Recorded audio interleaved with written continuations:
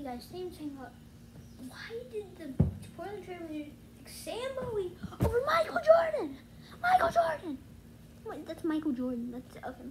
Now today and today, that's one of the worst draft picks of all time.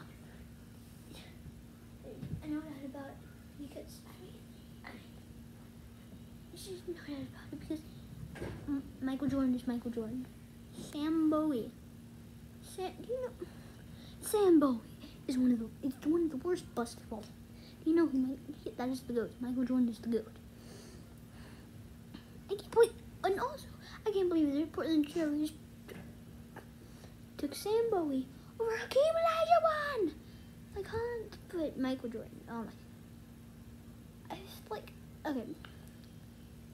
Even though they didn't.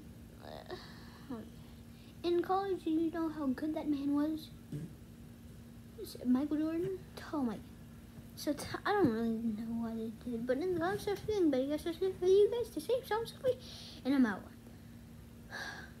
Peace.